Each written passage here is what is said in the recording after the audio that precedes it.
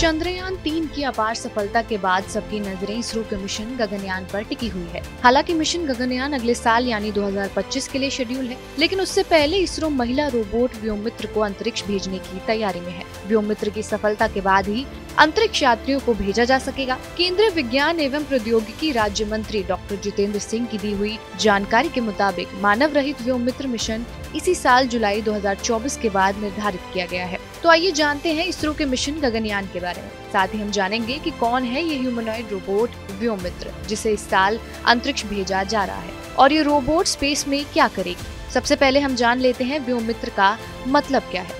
दरअसल व्योम मित्र संस्कृत भाषा के दो शब्दों, व्योम और मित्र से मिलकर बना है।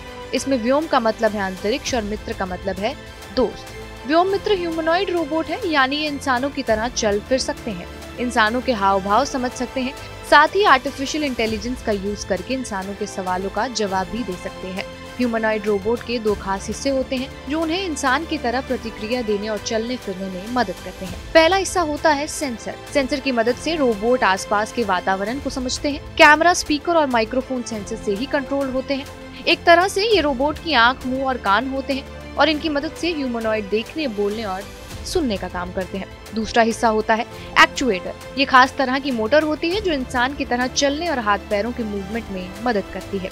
इसकी मदद से ह्यूमनाइड नॉर्मल रोबोट की तुलना में विशेष तरह के एक्शन कर सकते हैं। इंसानों से पहले व्योमित्र को अंतरिक्ष में भेजने की सबसे बड़ी वजह ये है कि ये महिला रोबोट अलग अलग मापदंडों की निगरानी कर सकती है अलर्ट जारी कर सकती है और लाइफ सपोर्ट ऑपरेशन को भी अंजाम दे सकती है। सिर्फ़ इतना ही नहीं ये महिला रोबोट छह पैनलों को ऑपरेट करने और सवालों के जवाब देने में भी सक्षम है।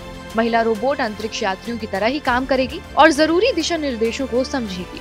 ये ग्राउंड स्टेशन में वैज्ञानिकों और टीम से संपर्क करके बात भी कर सकेगी। प्रधानमंत्री मोदी ने 15 अगस्त 2018 को मिशन गगनयान का ऐलान किया था। चंद्रयान तीन और आदित्य एल के बाद इसरो के वैज्ञानिक मिशन गगनयान की तैयारी में जुटे हैं। इसका मकसद अंतरिक्ष यात्रियों को स्पेस में भेजना है। इसरो ने गगनयान की टेस्ट व्हीकल फ़्लाइट बीते साल 21 अक्टूबर 2023 को लॉन्च की थी और इसका मकसद इमरजेंसी में क्रू एस्केप सिस्टम और पैराशूट सिस्टम की टेस्टिंग करना था। गगनयान प्रोजेक्ट के तहत इस साल जुलाई में व्योमित्र को अंतरिक्ष भेजा जाएगा, जबकि अगले साल दो से तीन अंतरिक्ष यात्रियों को पृथ्वी से 300-400 किलोमीटर ऊपर स्पेस की निचली कक्षा में भेजा जाएगा। फिर इन अंतरिक्ष यात्रियों को समुद्र में उतार कर पृथ्वी पर वापस लाने की सुरक्षित प्रक्रिया का प्रदर्शन किया जाएगा। ये मिशन तीन दिन का होगा।